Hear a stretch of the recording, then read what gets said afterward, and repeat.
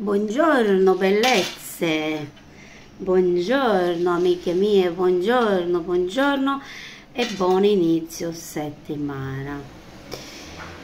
Mi si stanno appanando gli occhiali, però come sempre eh, che si deve fare? Un bel casino.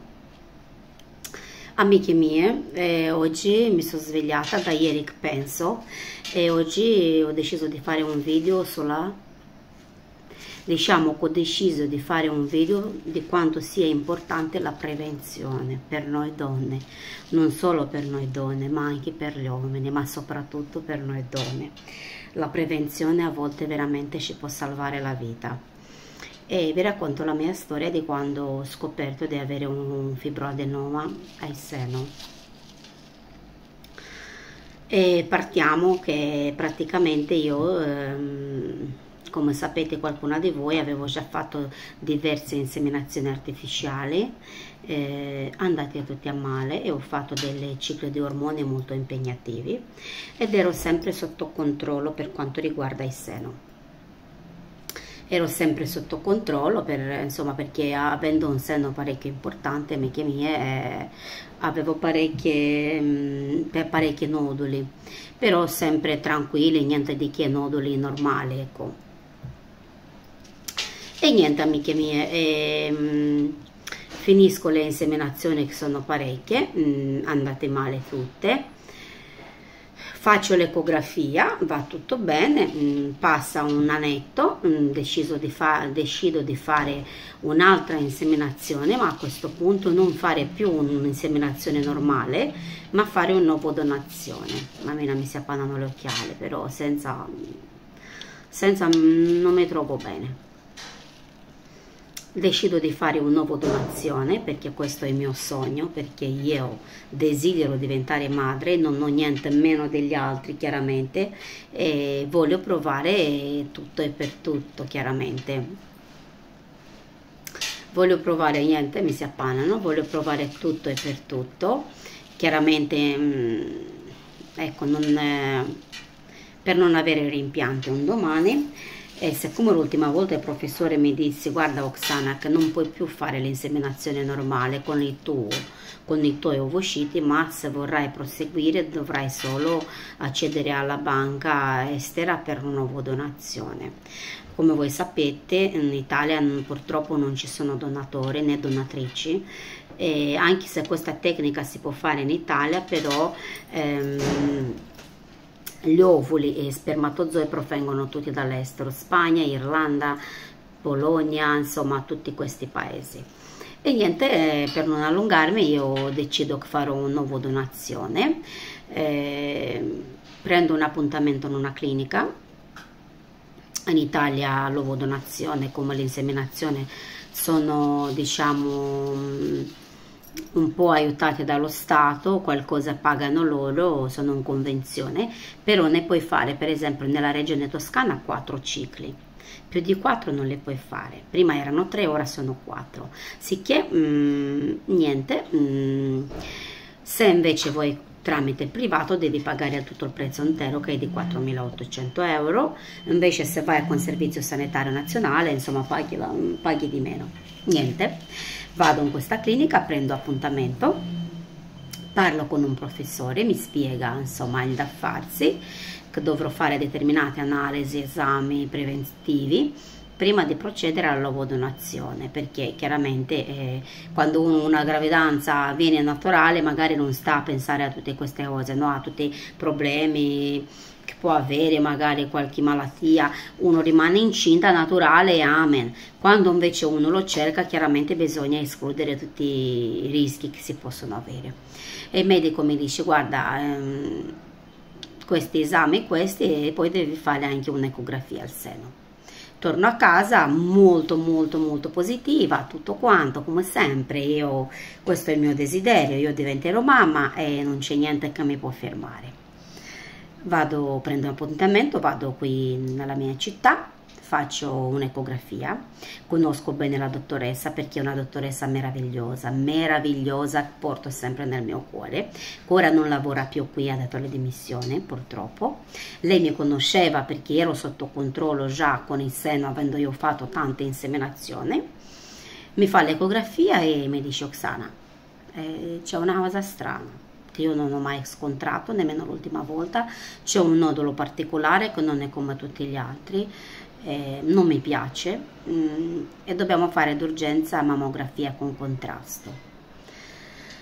Eh, amiche mie, per me, sai, in quel momento mi è passato un, un, calore dai piedi fino alla testa e proprio una delusione, la paura, ehm, tutte le cose, perché uno non si aspetta mai, no? Dici tanto a me non tocca mai, non tocca mai, non mi succederà mai. E niente, il giorno dopo mm, la dottoressa prepara tutto lei, mi prende appuntamento, il giorno dopo arrivo all'ospedale, sono parecchio preoccupata, parecchio ansiosa, io già di mio sono ansiosa e sono molto paurosa, sono un tipo parecchio pauroso. Arrivo e mi fanno il contrasto, mi mettono, insomma, mi fanno eh, la mammografia con contrasto e da lì la dottoressa mi dice non sembrerebbe sia una cosa grave, però... Mh, mm, non sembrerebbe neanche una cosa non grave, cioè dice dal, dalla mammografia non è da escludere niente, sicché mi dice bisogna fare, ehm, come si chiama, la biopsia. Mi programma tutto la dottoressa, io mi sento morire, sento sempre più allontanarsi il sogno da me, mi sento proprio, sapete quando ti cade il mondo addosso, quando sei in un tunnel e dici tu vai, vai, vai e non arrivi mai in fondo a questo tunnel. Ecco, la solita cosa per me, amiche mie niente, vado a casa, mi preparo, dopo pochi giorni vado a fare sta biopsia, una paura terribile, vado su YouTube, su internet a vedere come fanno le, le, queste cose, come vengono fatte le biopsie, mi preoccupo, mi spavento, perché poi io sono una che vado sempre su internet a vedere e questo è sbagliato, non bisogna mai andare, perché poi arrivi con l'ansia, con la paura, ti fai una testa tanta, no, no, facciamo passare sto motorino. E amiche mie c'ho la finestra aperta. Niente arriva il giorno della biopsia paurosa. Meno male che la dottoressa è bravissima mi mette a mio agio mi dice non ti preoccupare ti faccio anestesia lì al seno si fanno delle punturine di anestesia ma comunque io la paura ce l'ho sempre amiche e cominciano a fare la, la, puntura mammina quando ti buca il seno? Io penso che non ci sia cosa più brutta e più dolorosa amiche mie quando uno ti buca il seno. È una cosa proprio micidiale. Non, non scorderò mai quel dolore. Tra il dolore tra la paura ehm, io mi sentivo persa, mi sentivo persa. Niente, mi fanno l'anestesia, dottoressa si mette lì, chiacchieriamo, perché come vedete io sono una chiacchierona e mi piace insomma chiacchierare di tutti gli argomenti. Dopo un po' la dottoressa dice, guarda, aspettiamo 10 minuti, 15 affinché l'anestesia faccia, faccia effetto e si parte. Mi spiega che insomma che andrà a prelevare un pezzettino da questo nodolo sicché niente. Piglia un ago, un agone mammina dici c'è l'anestesia sì ma comunque quando è dentro tu lo senti quando muove così non senti dolore ma senti questa cosa ed è così credetemi io non lo auguro a nessuno amiche mie a nessuno. E niente la dottoressa ci mette tanto perché mi spiega con un senno parecchio noduloso parecchio um, dove questo nodulo c'è un sacco di vene un sacco perché era proprio sì qui su proprio a questo seno destro e ci vuole quasi mezz'oretta per pigliare la mira affinché mi sparassero con quella pistola per prelevare un pezzettino di nodulo. Che la dottoressa mi dice Oksana ferma che ci siamo, ferma non ti muovere e mi spiega che sentirai un sparo forte ti, e non ti preoccupare, non ti muovere perché questo è solo la pistola. Va bene? Io chiudo gli occhi, in quel momento penso alla mia nonna, penso alla mia nonna che è nel cielo, che è con me e penso che andrà tutto bene. Niente amiche mie, riviverlo non è semplice, penso a lei, chiudo gli occhi e sento un sparo, bam, ma proprio sembra un sparo.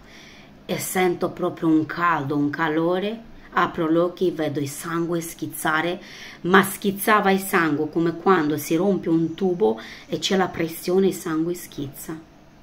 E lì capisco che è successo qualcosa che forse non, non doveva succedere. Sento la dottoressa che chiama, urla, chiama l'infermiera le dice di prendere delle buste di ghiaccio e di prendere qualcos'altro, la dottoressa mi mette le mani qua sul petto dove, da dove schizzava il sangue, e pigiava forte, io mi comincio a girare la testa. E in quel momento lì penso che forse è arrivato il mio momento, mammina davvero pensai che sarei morta, e in quel momento ho pensato, mammina, quanto tempo ho sprecato, caspita, quanto tempo ho sprecato per cose inutili. E magari sono, in quel momento ero anche in litigio con una persona mia molto cara, non avevo fatto la pace, vi sembrerà una stupidaggine, dici che sarà mai. Eh, ma in quel momento per me è stato terribile Niente, la dottoressa che mi pigia sui seno, mi pigia forte, l'infermiera porta le buste di ghiaccio, mh, mm, leva la mano, il sangue continua a schizzare, la dottoressa mi dice non guardare, non guardare, gira la testa, chiudi gli occhi, non ti preoccupare, mi fa la dottoressa, vedrai che andrà tutto bene. E niente, pigia, pigia come un potere la dottoressa, nonostante che piccolina e secchina, aveva una forza che mi sembrava di, non lo so, che mi schiacciava. Non vi dico i pensieri in quel momento che mi sono passati, amiche mie, non vi dico la paura, davanti ai miei occhi è passata un... credetemi, amiche mie apprezzate tutto quello che avete perché ve lo giuro in un attimo non si sa mai quello che ci può succedere. Niente, la dottoressa ripigia, ripigia, eh, ritoglie la mano per vedere se sangue non veniva più, invece sangue schizzava a tutto fuoco, ero piena di sangue sui collo, in testa, eh, mi cominciò proprio a girare di brutto la testa, le disse dottoressa io non mi sento bene, con mezze parole, eh, lei dice chiudi gli occhi, stai tranquilla, dice se vediamo che non si ferma si chiama l'anestesista e niente, chiama l'infermiera, le dice di portare una, una, cosa e con una siringa mi infilava un liquido dentro, che poi mi spiegò che era un liquido per far cicatrizzare la vena.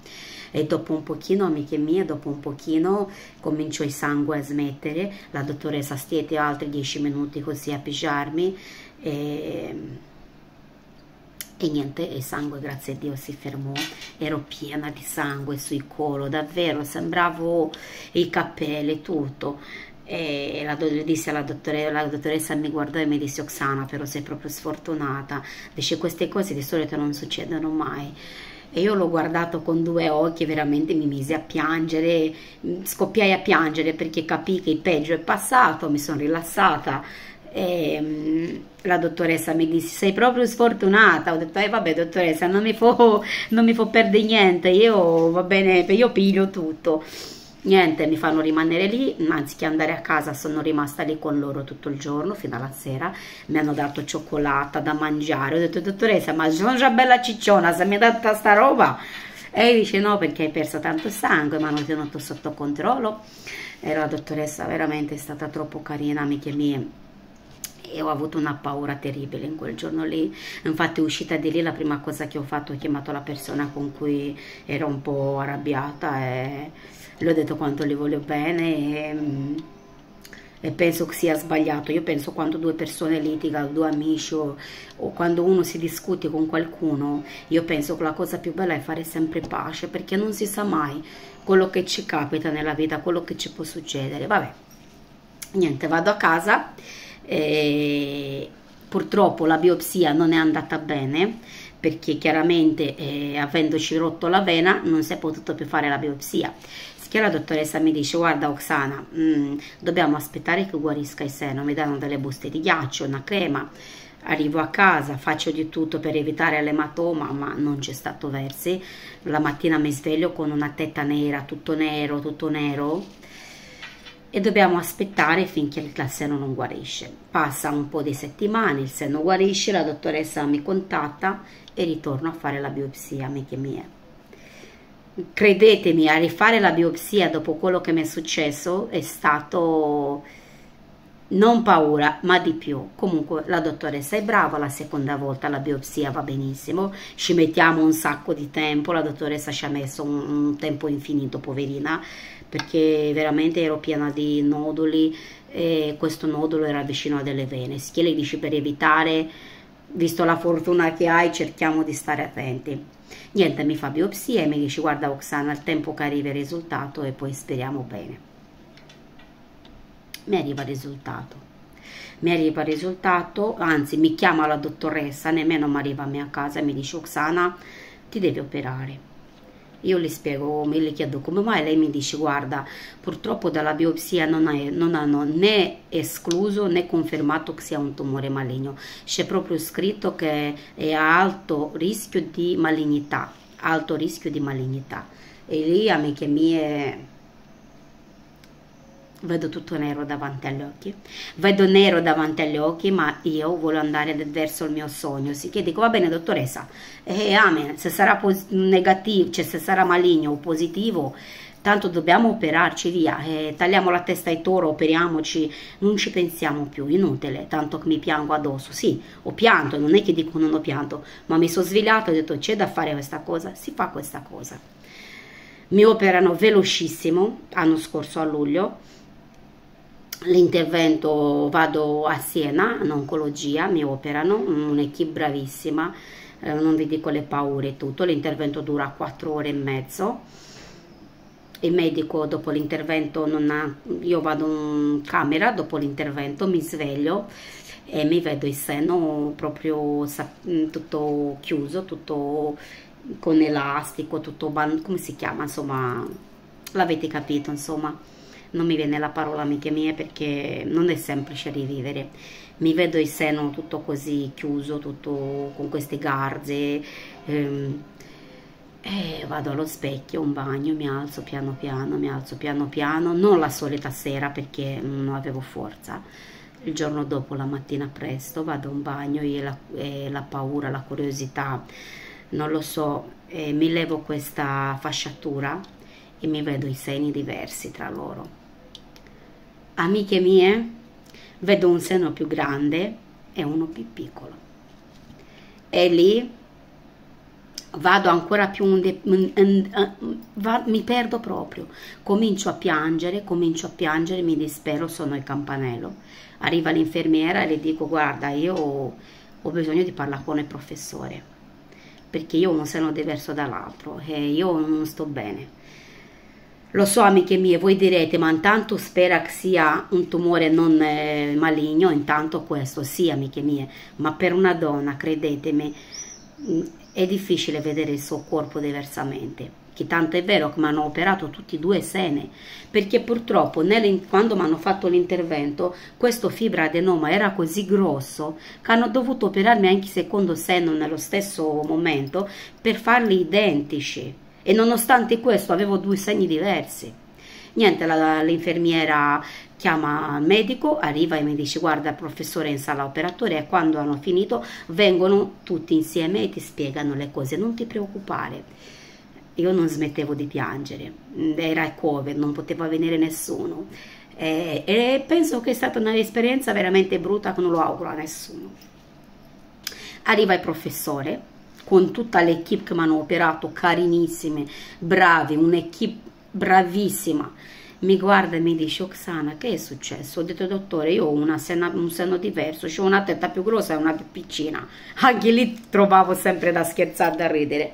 E lui mi fa, è normale ora, perché questa dove avevi fibroadenoma è tanto gonfia, perché abbiamo tagliato, avevi un fibroadenoma come un'albicocca, avevi un fibroadenoma grosso e quell'altra dice l'abbiamo fatto uguale, dice quando guariranno ce l'avrai perfette, identiche e dice se non saranno così ti prometto davanti a tutti che ti rifarò le tette più belle del mondo. E vabbè, lì per lì sembra così, ma insomma lì per lì mi sono tranquillizzata. Gli chiedo al medico secondo lui com'era il fibroadenoma, lui mi guarda e mi dice Oksana, mm, all'occhio non aveva un bel aspetto, però dice siccome era bello tondo così come un'albicocca abbiamo tolto tutto, non è rimasto niente, sì che comunque vada non dovrei fare né chemio né radio, dici perché abbiamo tolto tutto tutto, anche più di quello che si doveva, perché era proprio tondo, non c'aveva radice, non c'aveva niente, però dice non aveva un bel aspetto. E ridalle a piangere lì per lì. Niente amiche mie, mi risveglio una mattina dopo più forte che mai, vado un bagno, mi preparo, mi riguardo le pocce, mi sembrano un pochino più belline, anzi devo dire la verità stavano anche belle su, ho detto ma mia, ho due e mi stanno anche in su, eh sì, che cercavo di trovare insomma anche qualcosa di positivo in questo. Comunque mi fasciano per bene, il giorno, dopo due giorni mi mandano a casa, continuo ad andare a fare medicazioni ogni due o tre giorni, aspetto la biopsia, dopo quasi un mese mi arriva la biopsia dell'intervento e se Dio vuole un fibroadenoma sì brutto sarebbe potuto andare in peggio, ma per ora era ancora tranquillo, non devo fare né chemio né radio, ho dovuto fare solo una cura cortisonica fortissima e delle altre, un'altra cura, eh, però intanto l'abbiamo preso un tempo. Ho fatto medicazioni, sono stata parecchio indietro, mi ha dato parecchio fastidio il seno. E che pensate, amiche mie, potevo farmi mancare qualcosa? No, no, il filo di sutura dove mi hanno tagliato il seno intorno ai capezzoli mi danno una forte allergia e mi fanno venire delle ferite orribili, brutte, brutte. Non vi dico il percorso di questa cosa, per 4-5 mesi ho dovuto fare quasi una volta alla settimana le punture di cortisone e un'altra sostanza tutto intorno al capezzolo. Voi avete idea fare le punture intorno al capezzolo senza anestesia? Perché purtroppo non si può mettere anestesia quando si fa questo tipo di trattamento.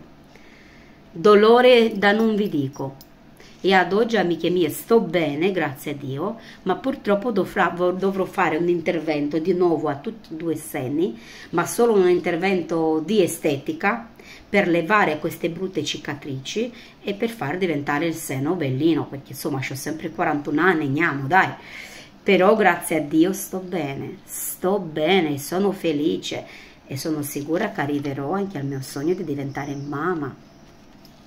E niente amiche mie, questa è la mia storia, questa è la mia piccola esperienza per quanto riguarda la prevenzione. Perché io dico, mi ha detto anche il professore, se io questa ecografia non lo facevo e non lo scoprivano, questo fibroadenoma non sarebbe stato così buono, perché era talmente grosso e brutto già a vedersi che è stato un miracolo che non era diventato brutto di quelli cattivi e lì mi sono resa conto che la prevenzione è la nostra salvezza. Sì, uno può dire, vabbè, qualche dato che è scritto, se ci crediamo nel destino succederà. Sì, è vero, ma sempre è meglio prevenire che curare, amiche mie. E la positività in questi casi, anche questa aiuta. Sì, in certi momenti ho pianto, mi sono disperata, eh, ero diventata come una bambina, avrei avuto bisogno di affetto, di coccole, di abbracci, ero sola perché purtroppo nessuno poteva entrare. Però noi donne siamo forti e nessuno ci può ammazzare, nessuno. Ma chi ci ammazza noi? Nessuno. La positività è tutto per noi donne, davvero. Voletevi bene, andate a fare dei controlli all'utero, al seno, fate controlli annuali, la prevenzione a me per esempio mi ha salvato in tempo chiami che mi e spero questa storia per qualcuno sia un input anche per andare a fare una prevenzione. E spero che per qualcuno sia stato un, una cosa positiva. E spero di essere di aiuto per qualcuno. Vi ringrazio. Vi ho raccontato di cuore la mia storia, vi chiedo di sostenermi, di mettermi un mi piace, di, di iscrivervi al mio canale e di sostenervi, sostenermi amiche mie. Bello raccontarsi però per quello che è. E niente amiche mie, vi saluto, vi auguro un buon inizio settimana, io oggi inizio il mio primo giorno di lavoro alla COP, sono contenta, sono orgogliosa di me, mi guardo e mi dico brava Oksana, brava, continua così, i tuoi sogni si realizzeranno tutti passo passo, basta avere pazienza. Amiche mie, vi voglio bene, alla prossima.